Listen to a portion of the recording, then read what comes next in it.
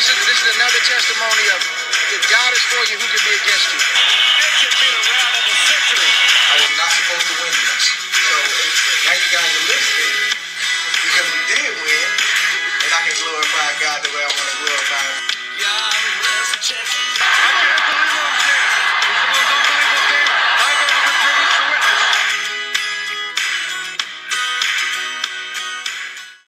Welcome, welcome, welcome to another episode of 3D Boxing Podcast. It is good to be back. Um sorry about that. That was really weird. Back? I'm back. All right. Welcome to 3D Boxing Podcast. It is good to be back. Um, so massive news. I'm sure y'all heard the massive news. Tyson Fury versus uh Alexander Usyk looks like it's to go for April 29th.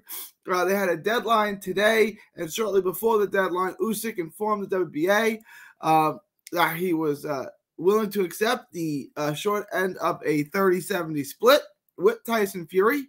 Uh, and then he made a demand that Fury make a $1 million donation to the people of Ukraine. I, I guess Fury decided. Now, I'm going to admit I was wrong. I said there was no shot that Fury was going to fight Usyk.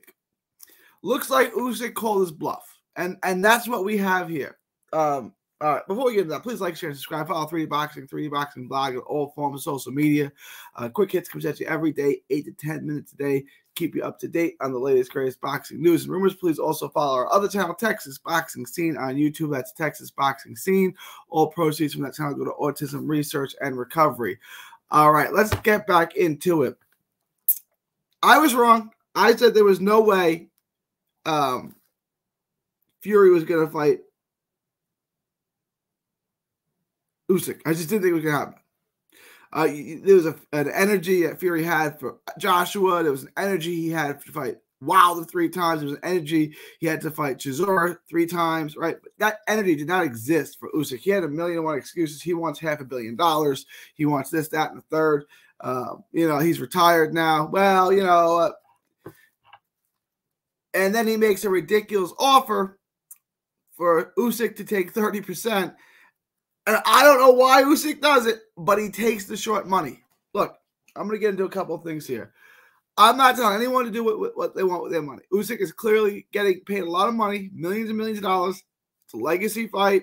He could be, you know, undisputed heavyweight champ, undisputed cruiserweight champ. Um, I, I think he's going to win the fight. I, I think Fury knows he's going to win the fight. I'm pretty sure everyone involved knows that uh, Usyk is going to win the fight. Um, so he's taking the money. He's taking short money. I wouldn't do it. I wouldn't advise my client or my fighter to do it. He's betting on himself here. He's betting on himself here. I mean, this, you know, both guys are, are, old now. Both guys are, are well into, you know, their, their mid 30s. Uh, I think Usyk is what, 35? He's 36 now. Um, you know, this is really it for him. He, uh, you know, this is this is it. You know, I- does he fight on after this? And and and, and Fury is 34. This is their last. You know, this is their last hurrah.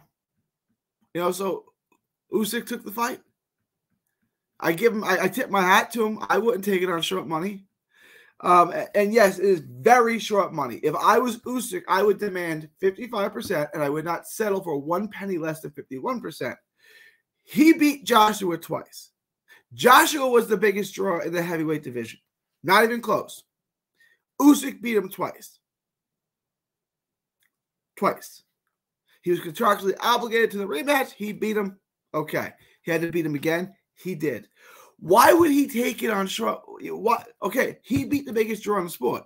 He beat the heavyweight champ. Why would he take any fight on short money? He's the unified heavyweight champion of the world. Why would he take any fight on the short end of the stick? It doesn't make any sense. Right? And and, and to me, Fury saying take 30% is saying I don't want to fight because there's no reasonable expectation that he would take short money to anyone. He's the unified heavyweight champ. He's the baddest man on the planet. And and and, and Tyson Fury um, says take 30%. That's all you deserve. And he takes it.